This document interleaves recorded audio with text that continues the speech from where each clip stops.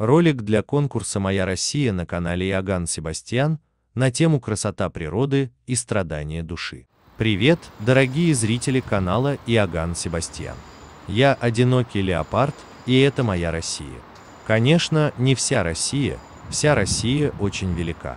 И она не моя, ибо мне не принадлежит. Я чувствую себя здесь гостем, который понимает, что засиделся в гостях и пора уходить. Это страна контрастов.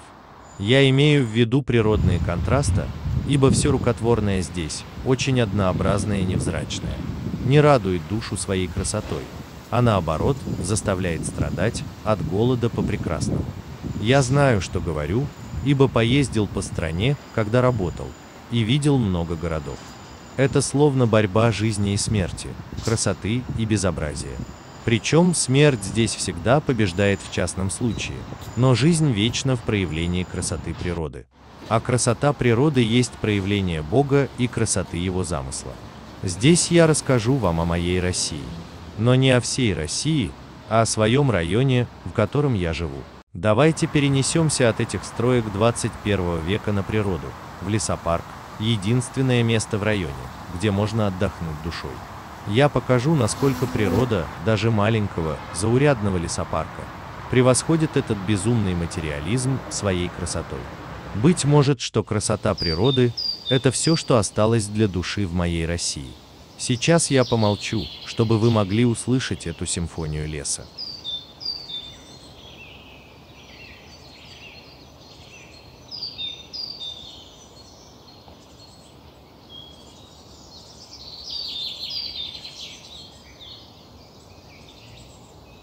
Я уверен, что пение птиц, шелест листвы, свежий и вкусный лесной воздух после субботнего дождя, игра лучей солнечного света, проходящих сквозь листву деревьев, эта симфония леса гораздо красивее любой классической музыки. Красивее Баха, Шопена и Моцарта. Никакое произведение человека не способно приблизиться к природе и к творчеству Бога. Великие композиторы лишь пытались приблизиться к Богу. Поэтому одинокий леопард не слушает музыку, он ходит в парк и слушает симфонию леса, уходя от шумного города и наслаждаясь природой.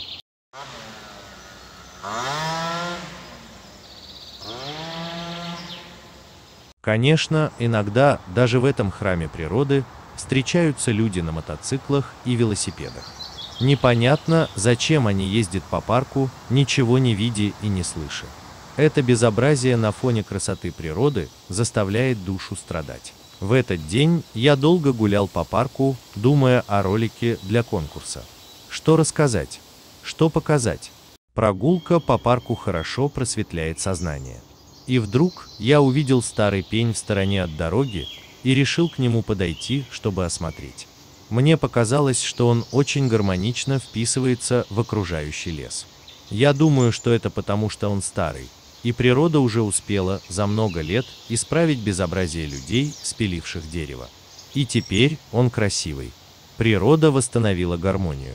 А я пошел дальше по дорожке, как вдруг увидел еще один пень, свежий. Люди достали его и зачем-то бросили у края дороги, словно показывая всем свое творчество. Я сразу отметил, как уродливо это выглядит, что он совсем не вписывается в окружающий лес, он даже не гармонирует с дорожкой, сделанной людьми. И тут я внезапно понял, что творчество людей в моей России никогда не сравняется с Богом и с природой, даже не приблизится к Нему. Люди здесь никогда не смогут повторить природу и создать красоту. У них нет творческого начала, нет души, они не могут созидать. Я считаю, что именно этот пень на краю дороги символизирует мою Россию. Жестоких людей, которые прославляют палачей и презирают художников. Как сказал мой отец, зачем нужны эти художники и писатели, всякие барзаписцы вроде Достоевского? Работать надо, страну развивать.